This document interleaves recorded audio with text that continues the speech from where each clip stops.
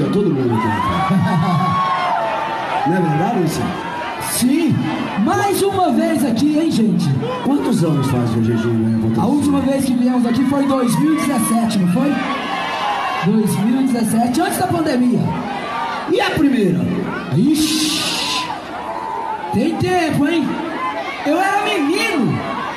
Aliás, todo mundo aqui era menino quando a gente veio aqui a primeira vez. A maioria aqui não tinha nem Sim, nascido é ainda. verdade. quando veio aqui. Eu, pelo menos eu, posso falar que a primeira vez que eu tive um patrocínio, eu tenho certeza que muitos, mas muitos de vocês aqui não eram nascidos ainda.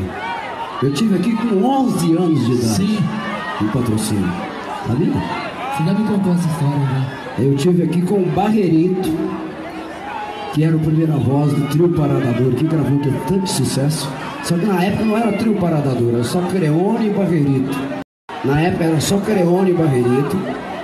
Eu estava com eles em Monte Carmelo, que é uma cidade perto aqui. Não é isso?